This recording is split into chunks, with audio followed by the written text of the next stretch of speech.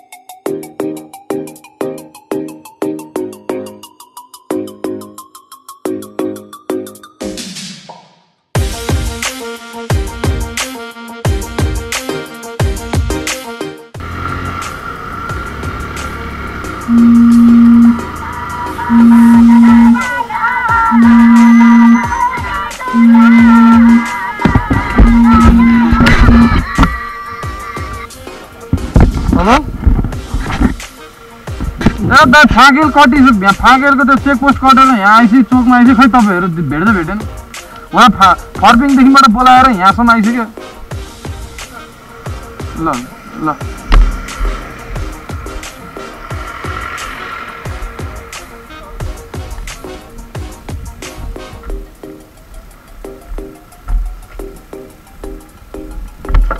अहिले चाहिँ हामी यहाँ चिया खानलाई एकछिन पाँच मिनटको लागि बसेको छ यता दाइ पुरा दाइको कपाल हेर्नु कपाल। पुरै हाइलाइट भएको छ धुलोले गर्दा। अब चाहिँ चिया खाएर निस्किहाल्नुपर्छ।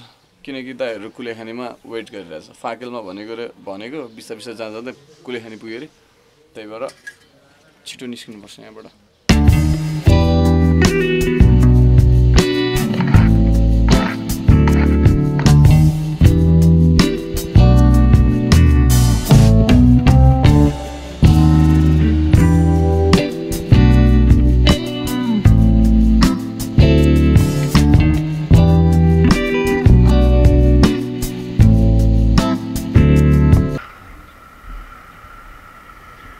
दस मिनटपछिको चिया ब्रेकपछि अब हामी चाहिँ लागेको।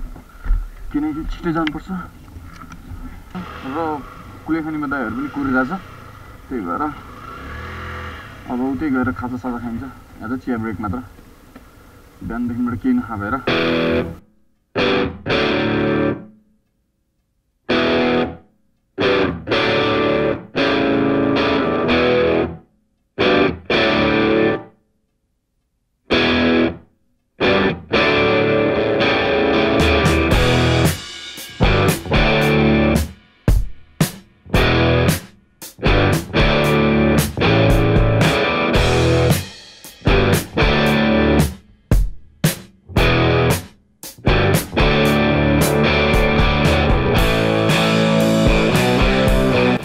फाइनली यहाँ दाइहरू चाहिँ यही रहेछ त्यही भएर एकछिन यहाँ ब्रेक लिनु पऱ्यो ओहो मेरो हालत अघि पुरा टक्टक आएर पनि यहाँ फेरि धुलो जस्ताको त्यस्तै के छ मेरो दाइ मेरो अँ ठ्याक्क अहिले चाहिँ हामी कुलेखानीमा छौँ बल्ल बल्ल दाइ र भेनाजुलाई भेट्यो पुरा दाइ फायर भएर बसिरहनु भएको छ। तर अहिले चाहिँ अलिअलि कुल भएको छ। ह्याङ लगाएर छ एकदम जति बिसायो भने हाँसेर पुरै भित्रभित्र चाहिँ होइन पुरै त्यो आक्रोशको ज्वाला बल्झिरह होला होइन। छोडेर गयो भित्रभित्र चाहिँ आक्रोशको ज्वाला पोकिरहनु भएको छ। दाइ चाहिँ पनि हाँसिरहनु भएको छ होइन। अब एकछिन चिया चिया ब्रेक यहाँ पनि। चिया खाने बित्तिकै त्यसपछि सिधै सिस्नेरीको लागि हामी चाहिँ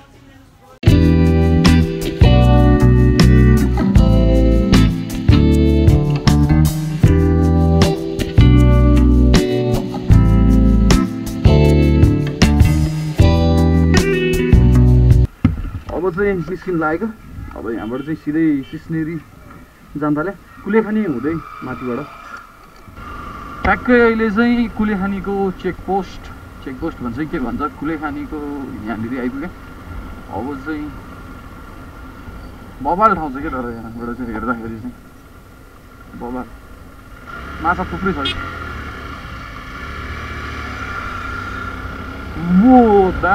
अहिले चाहिँ क्यामेराको ब्याट्री एक्सचेन्ज गर्यो। ब्याट्री सकेको रहेछ। ब्याट्री सकिसकेको रहेछ क्यामेरा अफ भइसकेको रहेछ थाहै भएन। बोल्या बोले बोल्या बोले भइरहेको पछि यसो हेर्छु त क्यामेरा त अफ भइसकेको रहेछ ब्याट्री सकेर। त्यही भएर यहाँ ब्याट्री एक्सचेन्ज गरेको।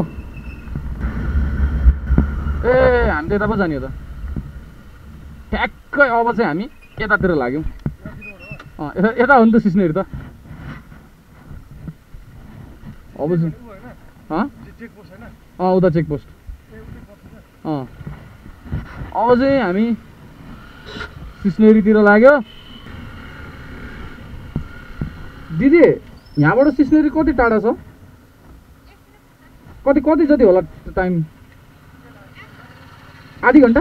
आधी घन्टा। एकछिनमै पुग्छ रे। अनि कति भने आधी घन्टा। अरे कति हाँस्नु? स्याम्पू साबुन किन्यो।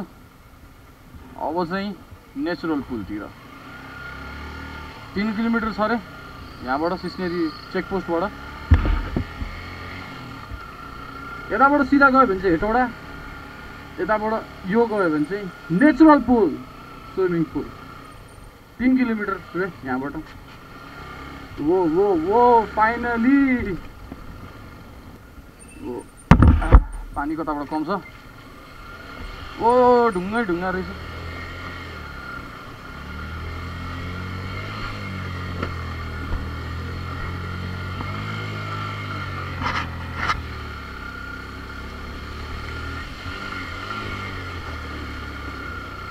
आ, जुत्ता भिज्यो जुत्ता भिज्यो हँ अलि छेउ छेउ छेउ आउनु छेउ छेउ पुरै जुत्ता भिज्यो भने त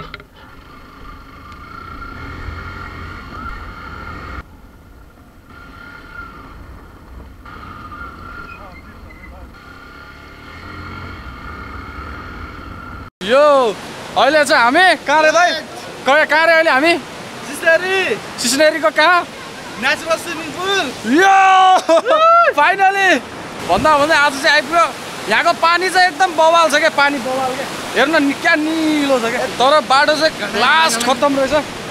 तै पनि नो पेन नो गेन भने जस्तै हामी त्यसरी नै आइपुग्यो आउनु चाहिँ। अब यहाँ बवाल स्विमिङ गर्नुपर्छ क्या बवाल स्विमिङ होइन। त्यसपछि अनि एकदम एक्साइटेड छु क्या म यहाँनिर होइन कति भयो कतिदेखिबाट आउँछु आउँछु भनेको थिएँ।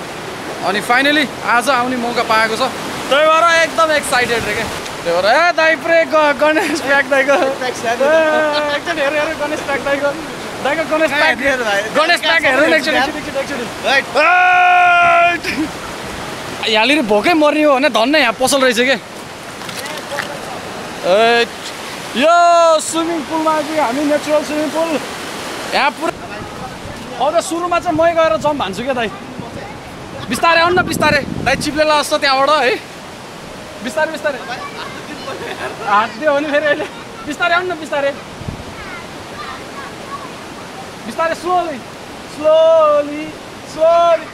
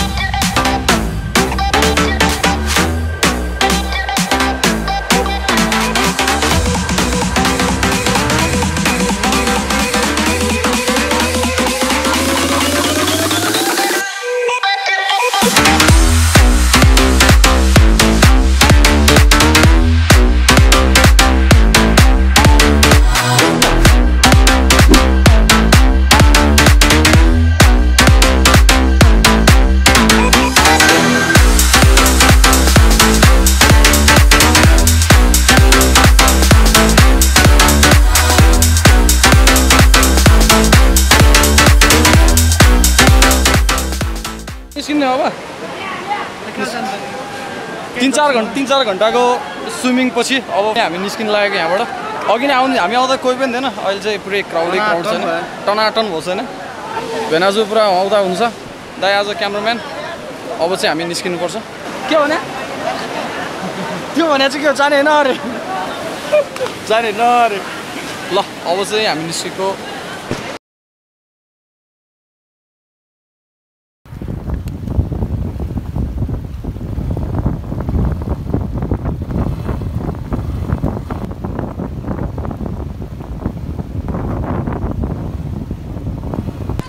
नेचुरल स्विमिङ पुलको ट्रिप पनि खतरा एडभेन्चर भयो। झन् बा बाइक बगाउने झोला बगाउने आमा खुट्टामा पुरै खाली खुट्टा अहिले। पुरै यहाँ अलपत्र परिरहेछ। धन्न धन्न। दाइको रोयल इन्फिल्ड झन्डै झन्डै बगाइसकेको थियो। ब्याग बगाउने आमा के के भयो? बाइक त धुलो। खतरा एडभेन्चर भयो क्या। मोजाको हालत नै यस्तो भयो। अब यो मोजा साइड लगाउने जुत्ता मात्र छिराउने अनि चल्दिने। त्यो लेस खोल्न नपरो नपरोस् भनेको। आ छिर्यो। लेस खोल्न जस्तो झ्याउ काम मलाई केही लाग्दैन कि फेरि। ओके अब चाहिँ हामी निस्केको। साढे एक भइसकेको रहेछ। त्यही भएर अब चाहिँ हामी निस्केको। सो